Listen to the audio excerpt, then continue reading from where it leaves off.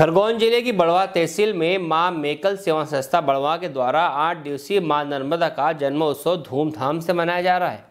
सैकड़ों की संख्या में नगर सहित आसपास के ग्रामीण क्षेत्र में रोज़ाना नवाघाट खेड़ी माँ नर्मदा जयंती महोत्सव में पहुंचकर महाआरती में शामिल होकर धर्म का लाभ ले रहे हैं। उसी कड़ी में आज दोपहर बारह बजे महाआरती की गई और हेलीकॉप्टर से माँ नर्मदा पर फूलों की वर्षा की गई और विशाल भंडारे का भी आयोजन किया गया, जिसमें हज़ारों की संख्या में भक्तों ने प्रसादी का लाभ लिया। इस दौरान बड़वा विधानसभा के लोकप्रिय विधायक सचिन बिल्ला भी आज माँ नर्मदा जयंती उत्सव में शामिल हुए। बड़वा से रफीक मुंडा की रिपोर्ट। दिव्य